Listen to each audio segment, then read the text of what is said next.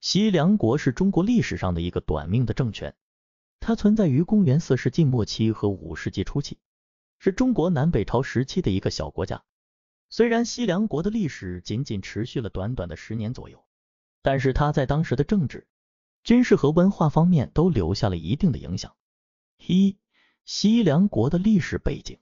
西凉国的历史背景可以追溯到公元三世纪末期和四世纪初期的五胡乱华时期。当时中国北方的政治格局非常混乱，各种少数民族的部落在这片土地上游荡，有时互相结盟，有时又互相攻伐。其中以匈奴和鲜卑族为代表的少数民族逐渐壮大，开始对中国的领土和政权发起了挑战。在这种背景下，各地的地方势力纷纷崛起，试图在混乱中寻求自己的发展机会。西凉国正是在这样的历史背景下诞生的。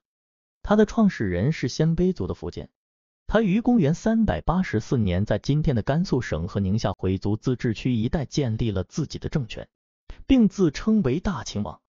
这个政权很快就发展壮大起来，成为了当时中国北方的重要势力之一。二、西凉国的建立和发展。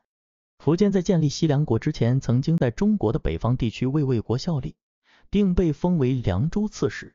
后来，他因为与魏国皇室的争斗而叛变，率领自己的部队逐渐控制了凉州和河西走廊一带的领土。在公元三百九十五年，苻坚正式宣布建立了西凉国，以凉州为都城，开始了自己的独立政治和军事活动。在西凉国的早期发展阶段，苻坚和他的后继者积极扩张领土，加强了国内的统治和军事力量。同时，也通过各种手段来巩固自己的政治地位。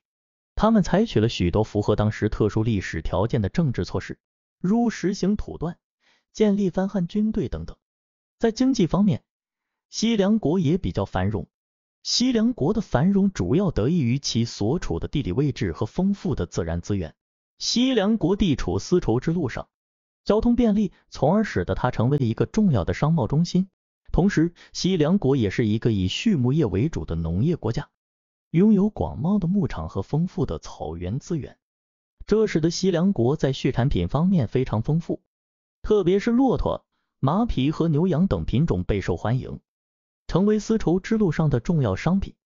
不过，西凉国的繁荣也是短暂的，在苻坚去世后，西凉国的政治局势开始动荡，苻坚的儿子苻建和孙子苻图相继登上王位。但是他们都缺乏能力和才干，无法继承苻坚的功业。此外，西凉国内部也存在着各种矛盾和冲突，使得整个政治局面更加复杂。在这种情况下，西凉国逐渐陷入了衰败和分裂的状态。三、西凉国的灭亡。公元四百一十六年，北魏政权开始对西凉国展开进攻。北魏当时已经成为了中国北方最强大的政权之一。而西凉国则已经陷入了政治、军事和经济的困境。在这种情况下，西凉国难以抵挡北魏的进攻，最终被迫向北魏投降。在投降后不久，西凉国正式被北魏吞并，服氏政权也就此结束。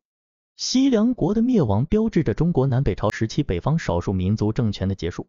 虽然西凉国的历史并不长，但是它在当时的政治。军事和文化方面都留下了一定的影响。例如，西凉国的建立和发展表明了中国历史上少数民族政权的重要性和发展潜力。西凉国的灭亡也预示着北方的政治格局开始向中原王朝转变，标志着北方少数民族政权的衰落。因此，西凉国的历史在中国历史上有着重要的地位和意义。